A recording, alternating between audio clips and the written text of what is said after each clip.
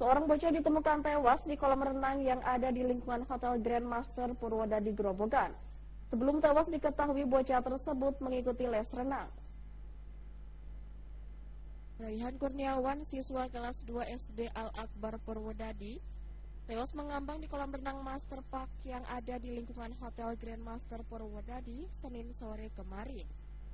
Saat itu, bocah 8 tahun tersebut mengikuti les renang bersama tiga temannya. Setelah sampai di kolam renang, guru pendamping menyerahkan korban dan tiga temannya ke guru les yang disiapkan oleh kolam renang Master Park. Usai les renang, tiga temannya makan di sekitar kolam renang. Namun korban tidak terlihat ikut makan. Saat dicari, korban ditemukan sudah mengambang dalam posisi tertelungkup. Uh, dari awalnya adalah eh, siswa dari SD Al Akbar mereka berempat yang diantar oleh guru pembimbing untuk kegiatan ekstrakurikuler eh, kegiatan renang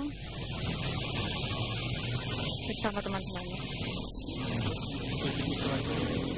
Ya, eh, pada saat renang itu dari guru pendamping menyerahkan kepada saat dibawa ke rumah sakit, korban dipastikan sudah tewas. Polisi yang datang kemudian melakukan olah TKP dan meminta keterangan sejumlah saksi. Hasil penyelidikan, korban tenggelam di kolam renang orang dewasa sedalam 2 meter karena lepas dari pengawasan. Keluarga korban menolak otopsi sehingga langsung dimakamkan. Eko Agung, Semarang TV